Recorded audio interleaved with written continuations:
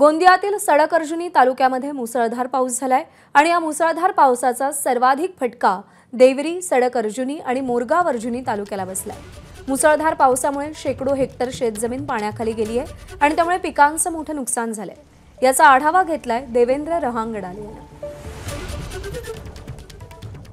गोंदिया जिल्ह्यात गेल्या अठ्ठेचाळीस तासापासून मुसळधार पाऊस सुरू आहे. परिणामी गोंदिया जिल्ह्यातील जे सडक अर्जुनी मोरगाव अर्जुनी आणि देवरी हे जे तीन तालुके आहेत या तीन तालुक्यांमध्ये पूर परिस्थिती निर्माण झाली आहे. अनेक भात पिकाची जी शेती आहे पाण्याखाली आलेली आहे. आपण बघू शकता की कशा पद्धतीने ही जी भात पिकाची लागवड केलेली शेती आहे ती पाण्याखाली आल्याने शेतकऱ्यांचे मोठे नुकसान झाले आहे. पुन्हा दुबार लागवड करण्याची वेळ आता शेतकऱ्यांवर आली आहे. हा पूर जरी हळूहळू ओसरायला लागला असला तरी मात्र शेतकऱ्यांचा जो आता अश्रूंचा पूर येणार आहे तो मात्र धक्कादायक आहे चिंतेची बाब आहे. आपल्यासोबत काही शेतकरी आहेत त्यांचं किती नुकसान झालं त्यांच्याकडून आपण जाणून घेऊयात.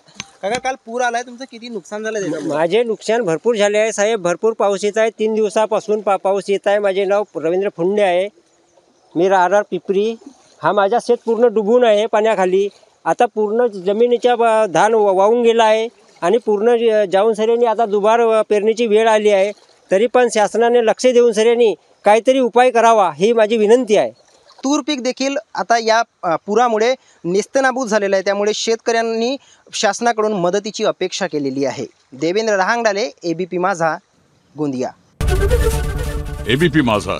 उघडा डोळे बघा नीट.